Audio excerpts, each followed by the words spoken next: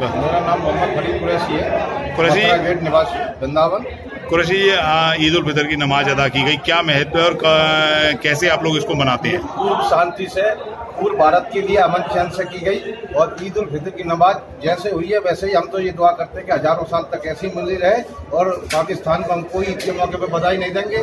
کیوں؟ کہ ہمارے سب وہ غداری کرتا ہے۔ جس ٹائم ہمارے جوان مرتے ہیں تو آنکھوں آنسو آتے ہیں ہمارے۔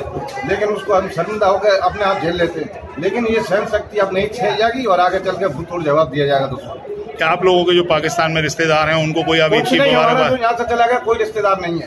صرف ہم بھارت واسی ہیں بھارت کے ہی رہیں گے بھارت کے لیے ہم سب کچھ کر بیٹھیں گے۔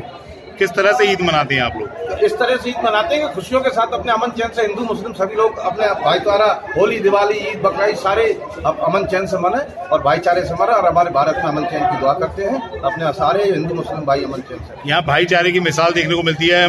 مندر بھی بغیر میں ہے اور مسجد بھی یہاں بھائی چارے کی مثال بہت زور سے دیکھنے کو ملتی ہے کیونکہ مندر والے بھی سہیوگ کرتے ہیں مسجد کا مسجد والے بھی مندر کا سہیوگ کرتے ہیں۔ اور سارے بھی جتنے یہ ابھی ادھک ماس کا مہینہ پڑا اس میں بھی سہیوگ کیا سب لوگوں نے۔ کہیں ٹھنڈے پانی پیاؤ لگائی ہے کہیں ساتھ پوڑی ہے، کہیں سب کے ساتھ سہیوگ کیا جیسا بھی بنتا ہے، لیکن یہاں کوئی ایسا بھید بھاؤ نہیں ہے اپنے اور جیسا چلا آ رہا ہے، ویسے ہزاروں سال ہم تو یہی ایشور سے دعا کریں کہ ایسے ہی ہمارے آنے والی پیڑھی ہے سارے بھارت برس میں ایسے ہی امن چین کی دعا منتی رہے اور ایسے ہی عید تہوار منتی رہے۔